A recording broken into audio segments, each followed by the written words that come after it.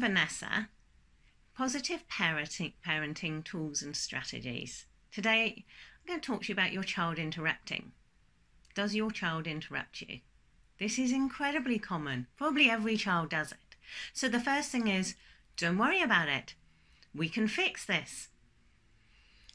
It might be really tempting to let your child interrupt.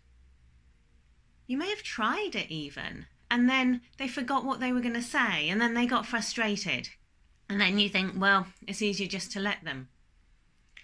Why do they interrupt? You've got to consider the age of your child. Also, because they're bored, they may not realise it's bad to interrupt, or they may not yet have the tools and strategies to hold themselves back. And they just feel that they're really important. The world is all about them. And of course, as already mentioned, they have a short term memory that's very short and they are very likely to forget. Why would we want to teach them not to interrupt? Well, it is an accepted social norm, so it makes us more polite, and in turn, that will make us have more friends. So, if you're wanting your child to integrate into society, it's really good to teach them social norms. Especially in this day and age, parents are very concerned about social interaction because of the high social media computer usage. There's a separate video on that, but when you've got that in mind, it's all the more important that you're teaching your children these things.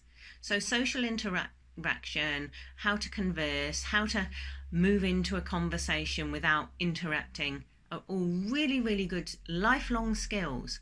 So, it's really advantageous to teach your child these skills. And you may as well start young. The younger they are, the easier it is.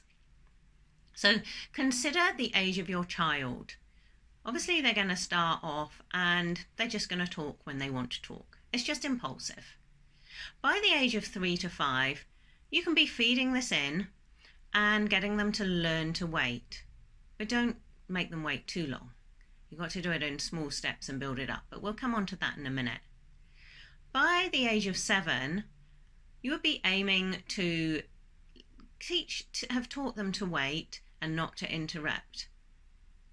So the tips are to consider the age and stage of your child. So consider your expectation.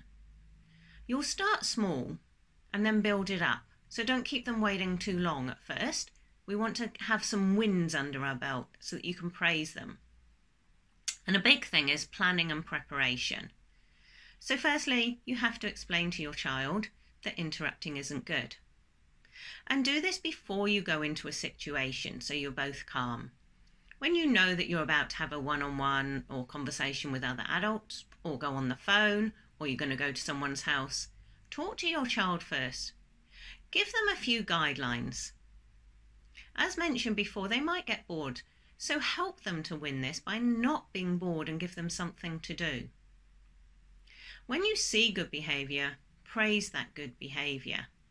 Afterwards, review the um, the time where they didn't interrupt and tell them how well they did and how proud of them you are.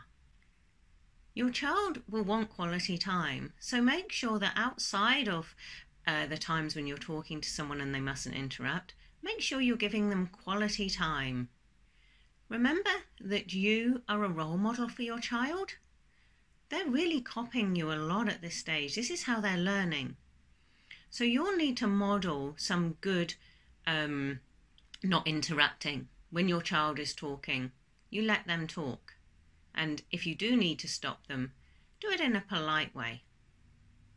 One tip you can use when you're um, not wanting your child to interrupt is to acknowledge that they want to talk to you with an eye movement or a touching them so that they know that you, you know, but then making them wait. So, just to summarize, perfectly normal for children to interrupt. It's generally where they all start.